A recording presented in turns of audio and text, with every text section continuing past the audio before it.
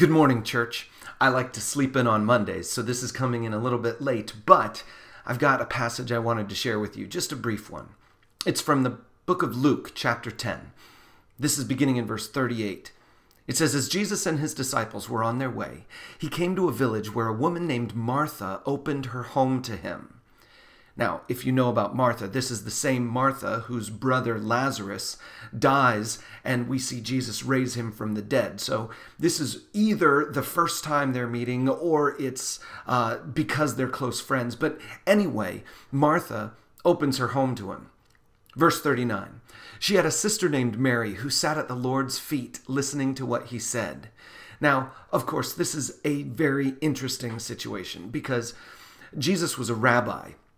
And ordinarily, women were not allowed to listen to rabbis. They were not allowed to receive teaching from rabbis. They were not allowed to uh, pay attention to rabbis like a student would. They could hear them in passing, of course, but they couldn't pay attention like a student would. And here Mary is taking the position of a student.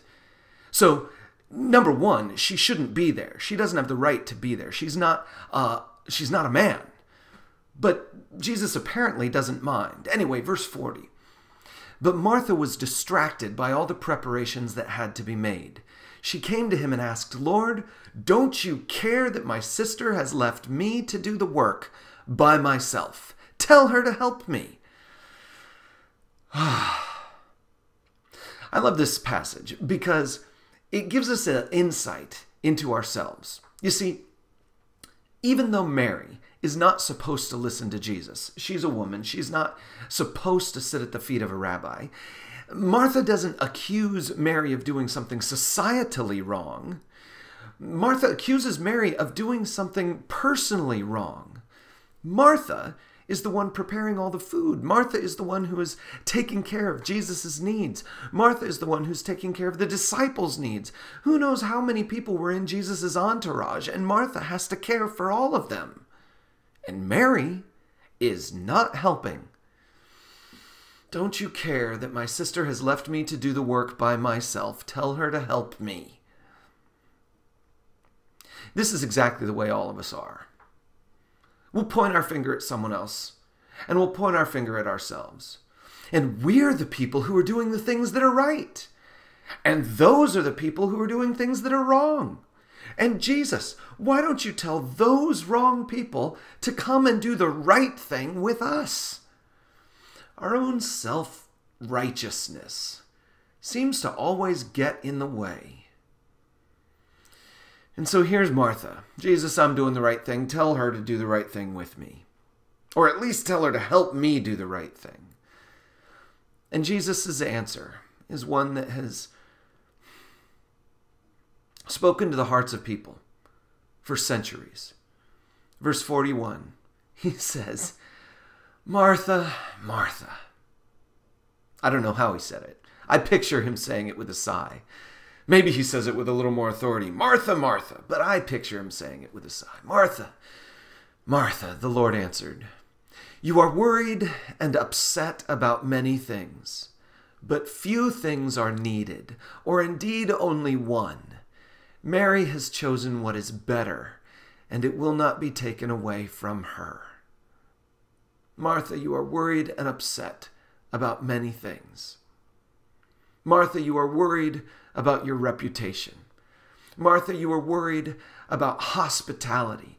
You are worried about what people will think of you. You are worried about whether or not this situation is just and right and fair. Martha, you're worried about many things.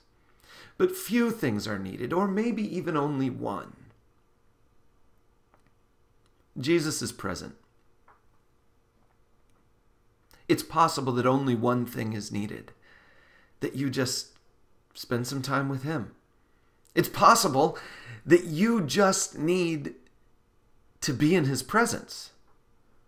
Mary has chosen what is better and it won't be taken away from her. My friends, today, you are probably worried and upset about many things. You, like me, are probably worried about our world. You're worried about whether or not your family is going to suffer any consequences from this coronavirus. You're probably worried about finances. You're worried and upset about many things. I know there are lots of things that I'm kind of worried and upset about. But few things are needed, or indeed only one. If you have the chance to spend time with Jesus, put down your apron, put down those spoons, put down that dish rag, put down those worries, and come and sit and be still and listen. Because Mary has chosen what is better, and it won't be taken away from her. My friends, whoever you are, however you're listening to this or watching this, let me just encourage you today's a day to choose what is better. Today's a day to choose what is better. Yeah, there are lots of things to be worried and upset about. And like, yeah, you've got your own family responsibilities to take care of, and all of us have our responsibilities to take care of. But don't forget this. When you have a chance to spend some time with Jesus, do it. Because Mary chose what is better, and it won't be taken away from her. Let me pray for you today. Heavenly Father, I just ask that today you would give us all a sense of presence with Jesus. Help us to sense Him in our home. Help us to honor Him with our lives. Help us to reach out to those that we know over the internet and share our confidence and our trust and our hope and our faith in Jesus with them. And help us to be people who choose what is better. Lord, thank you for being a God that we can come to and sit with. We love you.